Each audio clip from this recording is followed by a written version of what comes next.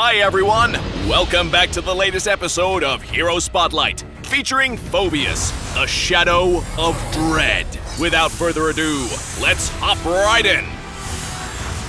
Tremble in my presence. Passive Demonic Intuition. Phoveus' weapon, Astaros, holds mysterious powers and is exceptionally sensitive to fast-moving prey. When an enemy hero uses blink or charge skills within range, it reduces all of Phoveus' skill cooldowns or charge times by a certain proportion. First skill, Malefic Terror. Phoveus smashes the ground and unleashes Astaros Dread, dealing magic damage to the target in the area of effect. Astaros Dread spreads upon hitting an enemy hero and gives Phoveus a shield, as well as increasing his movement speed temporarily. If Phoveus or a non-minion enemy unit touches Astaros Dread, it spreads again. This skill gains one charge every few seconds. Second skill, Astaros Eye. Phoveus summons forth Astaros Eye that spies on enemies. After a short delay, Astaros Eye starts shrinking and pulling all enemies on it into its center while dealing damage.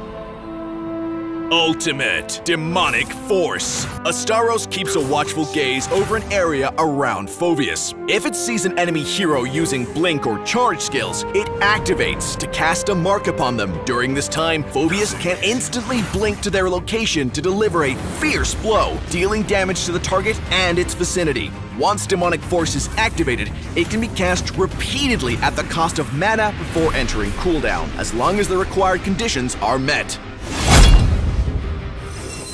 In the laning phase, engage the enemy with Malefic Terror in close quarter combat. When the enemy attempts to keep a distance, cast Astaros Eye to harass them from afar. When the time comes, activate Demonic Force to finish them off. When the teamfight breaks out, work with teammates or activate the second skill Astaros Eye to force enemies to cast Blink or Dash skills. Next, cast Demonic Force to blink into the fray. There is no better time than now to put Flame Shot to good use. When enemies are knocked back, cast Demonic Force right away. Follow up with another Demonic Force cast once any enemy attempts to dash or blink out of the teamfight. If Demonic Force has entered cooldown, use Malefic Horror to deny enemies' escape attempts. Well, that's all for today's episode of Hero Spotlight, featuring Phoveus, the Shadow of Dread. For more gameplay and tactics of Phoveus, stay tuned to Hero Academy and Road to Mythic. Until next time, we'll be seeing you in the Land of Dawn.